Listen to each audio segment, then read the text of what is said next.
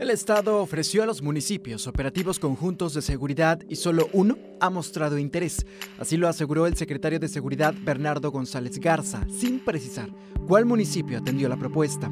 Esto después de participar en la reunión semanal del Gabinete de Seguridad.